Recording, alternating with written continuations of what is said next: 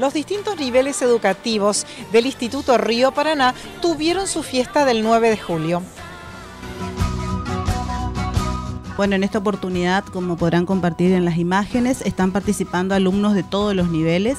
por lo tanto podrán ver el trabajo que desde cada área, desde cada nivel hasta nivel superior en esta oportunidad está trabajando y colaborando con este acto tan importante para todos los argentinos. ¿Cómo se enseña en el 2015 los ideales de libertad e independencia?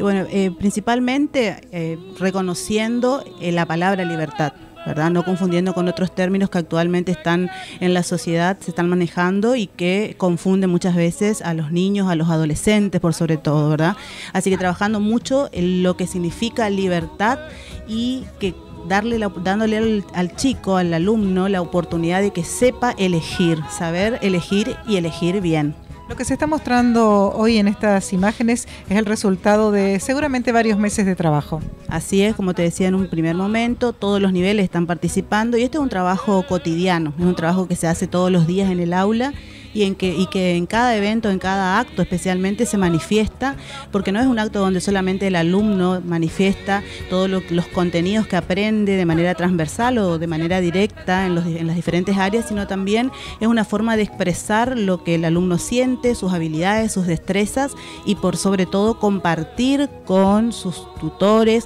con los papás, con los familiares que vienen en estos, en estos eventos y también en esta oportunidad poder mostrarle a la sociedad. Luego del receso escolar impuesto por las vacaciones, ¿qué se viene para este Instituto Río Paraná? Bueno, como ya saben, eh, primero quería aclarar que durante las vacaciones, si bien no vamos a estar totalmente en el horario habitual, vamos a estar en, horario reducido, o sea que aquellos que están interesados en,